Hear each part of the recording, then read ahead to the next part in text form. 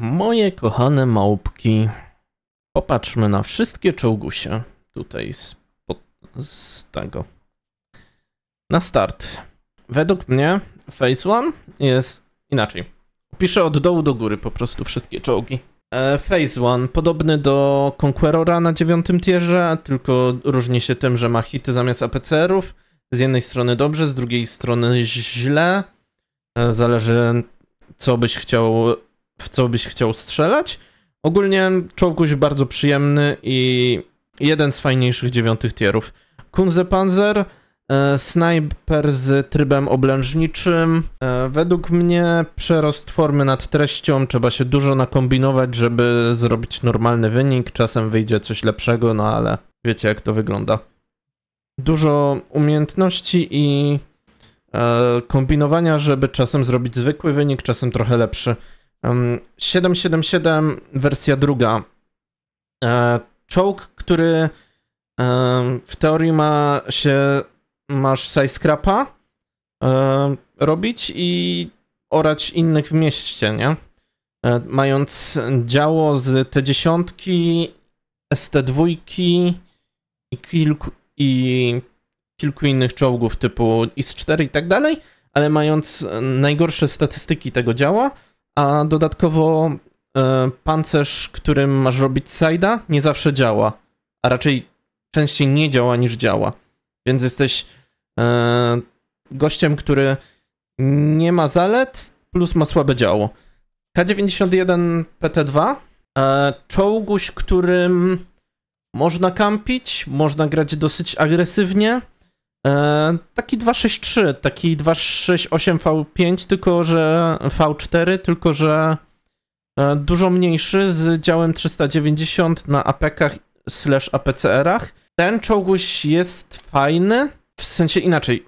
Siadają na nim fajne bitwy, ale przez to, że jest dosyć mały, to na tą wieżę, nie, na tą nadbudówkę nie gra się tak łatwo, bo nadbudówka jest nis, ogólnie jesteś niski, Musisz pokazywać tylko nadbudówkę.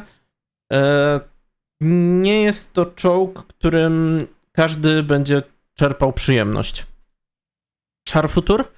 E, według mnie czołguś lepszy niż Batchat AP. E, co prawda 4, pe 4 pestki po 4 sekundy między pestkami, aczkolwiek fajne działo, możliwość grania na grania pod spota jako tako pancerz w porównaniu z barczatem AP, więc ludzie nie strzelają najczęściej do ciebie z heków.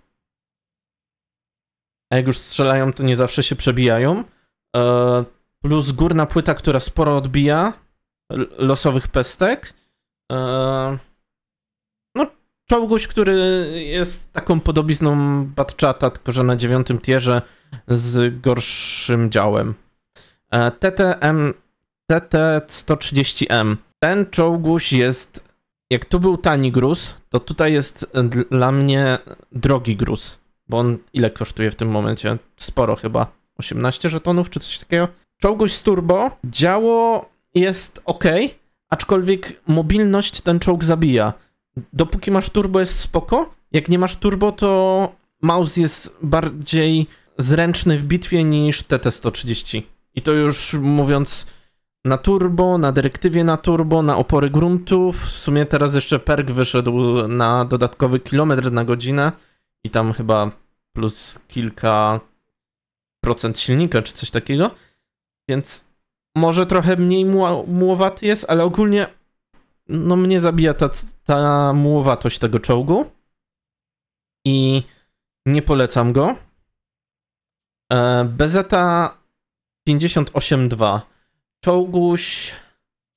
Jakby to powiedzieć? To jest e, wieża Polaka dziewiątki. Chyba z uciętym jednym garem. E, kadłub chiński i ten kadłub jest trochę dużo gorszy od Pols Polaka dziewiątki. Działo za to ma mniej alfy, ale jest dużo celniejsze.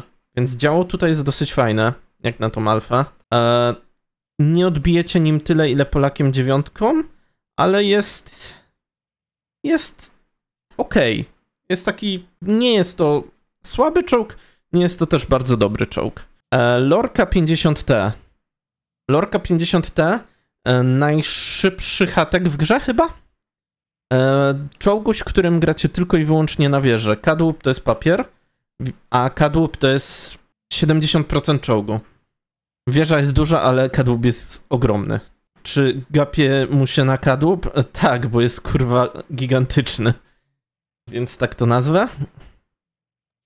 Jeśli ktoś wie, pewnie parę osób wie o czym mówię. E, więc tym czołgiem to jest hatek, którym możesz na różnych mapach grać na spota na wieżę. Bo dojedziesz tam szybciej niż medy często. Tak, gapi, gapieć się na bebech. E, więc ten czołg nie znajdzie uznania w, u większości graczy, ale jest parę osób, które go lubi. TS-60? Szczerze nie grałem tym czołgiem, ale patrząc na to, co on oferuje sobą, to jest taki przeciętniak. Dosyć twardy, jak na TDK z wieżą obracaną, z tyłu jeszcze wieżą, e, ale nie jest to nic uber fajnego. E, KPZ 3 projekt 07HK, tak taka nazwa. E, ten czołguś według mnie ma ten sam problem co Kunze Panzer. Oferuje sobą za mało, żeby robić nim regularnie wysokie wyniki. Jest po prostu czołgiem pod tytułem jak się spocisz, to zrobisz nim zwykłe wyniki. E, No i Kobra, dziewiątka, magazynek w 4,5 sekundy na heszach. Dosyć twarda wieża. I ten czołg jest dla kilku, maksymalnie kilku procent graczy, według mnie, ponieważ żeby używać heszy i to jeszcze w takim magazynku, który nie ma za dobrego skupiania, rozjeżdża mu się celownik. Czołguś jest fajny, ale mało kto go użyje prawidłowo. Najczęściej to jest tak jak aktualne batchaty, które, na których ludzie grają, bo usłyszeli, że batchat jest OP, więc ludzie grają batem i robią dwie pestki. Albo zero. Albo magazynek i garaż maksymalnie. No to Cobra jest tak samo. Trudne jak batchat, tylko tutaj jeszcze ten magazynek jak zrobisz, to niekoniecznie będziesz miał 2000 damage'u po magazynku, tylko możesz mieć 80, bo 4 razy nie przebijesz gościa.